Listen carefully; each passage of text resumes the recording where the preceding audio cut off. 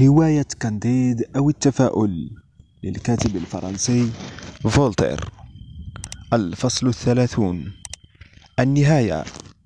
لم يكن كانديد في أعماق قلبه يرغب بتاتا في الزواج من كونيغوند ولكن وقاحة البارون القصوى أرغمته على عقد الزواج وكانت كونيغوند تلح عليه بشدة لدرجة أنه لم يستطع الرجوع عن التزامه.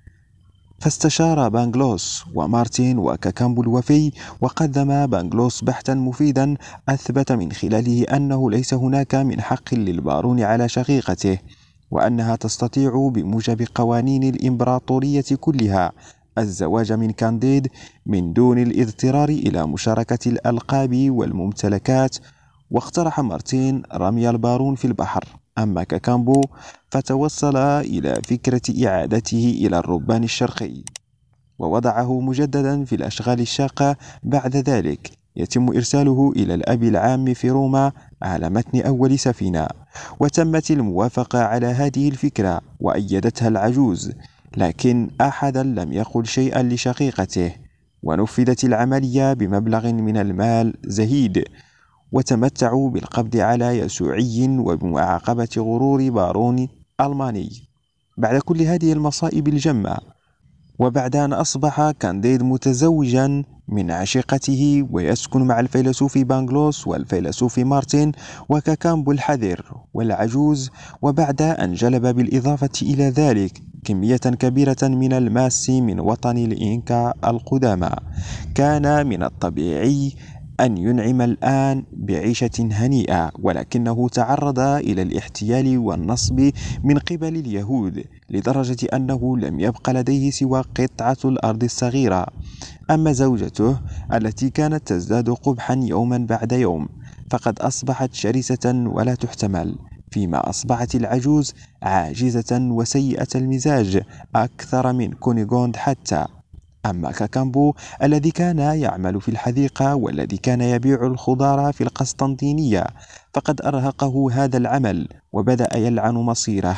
وكان بانغلوس يعاني من خيبة أمل شديدة لأنه لم يلمع في إحدى جامعات ألمانيا. وأما مارتن فكان مقتنعا بشدة بأن الجميع متساوون في الشر في كل مكان وكان يتعامل مع الأمور بصبر. وكان كانديد ومارتن وبانغلوس يناقشون أحيانا الماورائيات والأخلاقيات وكانوا غالبا ما يرون سفنا تمر تحت نوافذ منزلهم وعلى متنها أفنديات وبشويات وقضاة منفيين إلى ليمونوس وميتيلان وأرزروم وكانوا يلحظون مجيء أفنديات وبشاويات وقضاة آخرين ليحلوا محل المنفيين. وكانوا هم بدورهم منفيين وكانوا يرون أيضا رؤوسا ملفوفة جيدا بالقش لتقدم أمام الباب العالي. وكانت هذه الاستعراضات تضاعف المناقشات. وعندما كان لا يوجد نقاش كان الضجر شديدا جدا لدرجة جعلت العجوز تتجرأ على القول لهم أود أن أعرف أيهما أسوأ أن تتعرض للاغتصاب مئة مرة من قبل قراصنة عبيد وأن يقطع ردفك. وأن يضربك البلغار وأن تجلد وتشنق في احتفال وأن تشرح وأن تجدف وأنت محكوم بالأشغال الشاقة وأن تختبر أخيرا كل الويلات التي مررنا بها جميعنا أو أن تبقى هنا لا عمل تقوم به. فأجاب كانديد هذا سؤال مهم جدا. ولد هذا الحوار أفكارا جديدة واستنتج مارتين بالأخص أن الإنسان ولد ليعيش في انتفاضات القلق أو في خمول الضجر أما كانديد فلم يوافق ولكنه أيضا لم يعطي أي تبرير واعترف بانغلوس بدوره بأنه لطالما عانى بشدة ولكن بما أنه أكد مرة أن كل شيء يسير على أفضل حال فقد تمسك برأيه ولم يعد يؤمن بذلك بتاتا أمر واحد جعل مارتين يتأكد من مبادئه البغيضة وجعل كانديد يزداد حيرة أكثر من أي وقت مضى وأحرج بانغلوس ذلك أنهم رأوا ذات يوم باكيت والأخ جيروفلي يدخلان عليهم وهما في حالة يرثى لها فقد صرف سريعا الثلاثة آلاف قرش. وافترقا ثم تصالحا وتخاصما ودخل السجن وهربا وأصبح الأخ جيروفلي أخيرا تركيا. أما باكيت فواصلت مهنتها في كل مكان ولم تعد تربح شيئا. فقال مارتين لكانديد لقد توقعت تماما أن هيبتك لهما ستبدر سريعا وأنها لن تزيدهما إلا بؤسا. لقد زخرتما بملايين القروش أنت وكاكامبو ولكنكما لستما أسعد من الأخ جيروفلي وباكيت. وقال بانغلوس لباكيت آه آه لقد أرسلتك السماء إلى هنا بيننا طفلتي المسكينة. هل تدركين أنك كلفتني طرف أنف وعينا وأذنا؟ انظري إلى نفسك اليوم. إيه ما أعجب هذا العالم. ودفعتهم هذه المغامرة الجديدة للنقاش أكثر من أي وقت مضى وكان في الجوار درويش مشهور جدا يعرف بأنه الفيلسوف الأفضل في تركيا فذهبوا لاستشارته. توجه بانغلوس إليه بالكلام وقال سيدي جئنا نسألك أن تخبرنا لماذا خلق حيوان غريب كالإنسان. فقال الدرويش وما يعنيك في هذا الأمر؟ هل هذا من شأنك؟ فقال كانديد لكن أيها الأب الموقر هناك شر كبير على الأرض فقال الدرويش وإن يكن وإن كان هناك شر أو خير عندما يرسل عظمة السلطان سفينة إلى مصر هل يهتم ما إذا كانت الفئران الموجودة على السفينة مرتاحة أم لا؟ فقال بانغلوس إذا ما العمل؟ فقال الدرويش عليك بالسكوت فقال بانغلوس كنت آمل أن أناقش قليلا مع حضرتك بعض النتائج والأسباب في خير العوالم الممكنة ومصدر الشر وطبيعة الروح والانسجام المسبق. لدى سماع الدرويش لهذه الكلمات أغلق الباب في وجههم. وأثناء هذا الحوار كان قد انتشر الخبر بأنه خنق اثنان من أعضاء مجلس الوزراء ومفتي واحد في القسطنطينية وبأنه تمت خوزقة عدد كبير من أصدقائهم وقد أثارت هذه الكارثة ضجة كبيرة لبضع ساعات. أما بانغلوس وكانديد ومارتين فلدى عودتهم إلى أرضهم الصغيرة.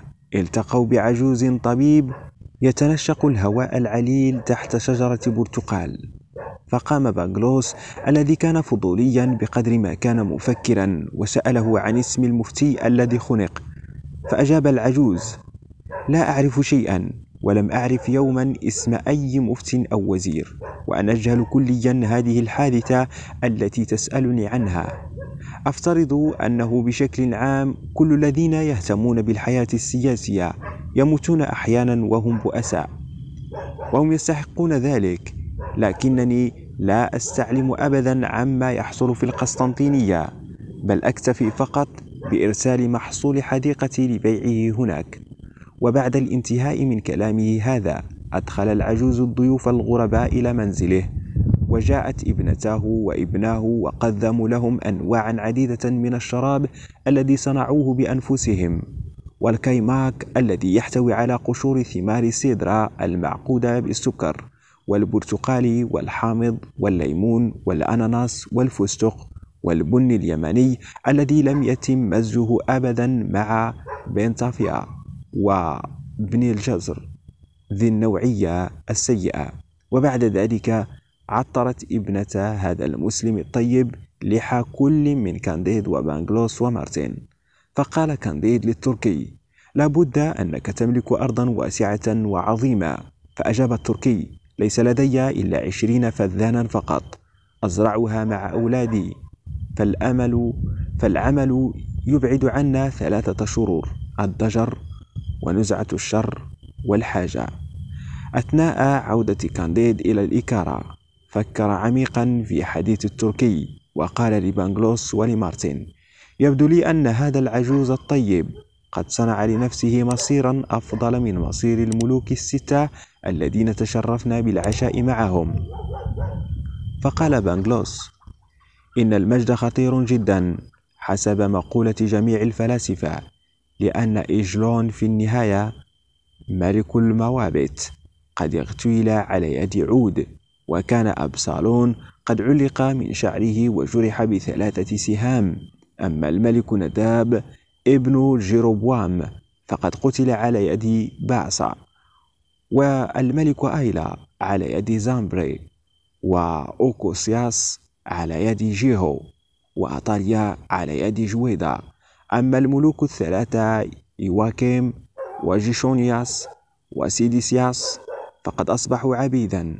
أتدري كيف مات كل من كريسوس وأسياج وداريوس ودانيس دوسيراكوس وبيروس وبيرسي وأنيابل وجوغورتا وأريوفيست وسيزار وبومبي ونيرون.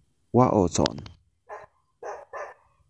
وفيتاليوس ودومياس ودوميسيان وريشارد الثاني من إنجلترا وإدوارد الثاني وهنري السادس وماري ستيوارت وشارل الأول وهنري الأول والثاني والثالث من فرنسا والإمبراطور هنري الرابع أتعلم؟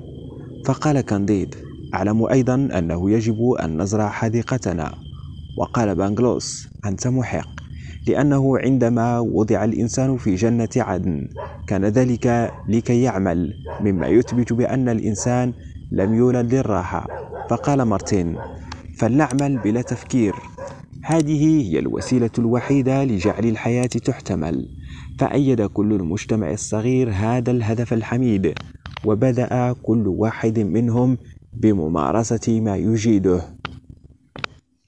وأثمرت هذه الأرض الصغيرة وأعطت الكثير وكانت كونيغوند في الواقع قبيحة جدا ولكنها أضحت حلوانية ممتازة وكانت باكيت تطرز أما العجوز فكانت تهتم بالغسيل وكان الأخ جيروفلي الشخص الوحيد الذي لم يكن يقدم خدماته لكنه أصبح نجارا ممتازا وصار رجلا شريفا وكان بانغلوس يقول أحيانا لكانديد إن كل الأحداث مترابطة في خير العوالم الممكنة لأنه في النهاية لو أنك لم تطرد من قصر جميل وتضرب على قفاك بسبب حبك للآنسة كونيغوند ولو أنك لم تخضع للتحقيق ولو أنك لم تجزئ أمريكا سيرا على الأقدام ولو أنك لم تطعن البارون ولو أنك لم تفقد كل خرافك التي أتيت بها من بلد الإردورادو الطيب. لما كنت تأكل هنا ثمارا وفستقا فأجاب كانديد هذا صحيح ولكن يجب أن نزرع حديقتنا.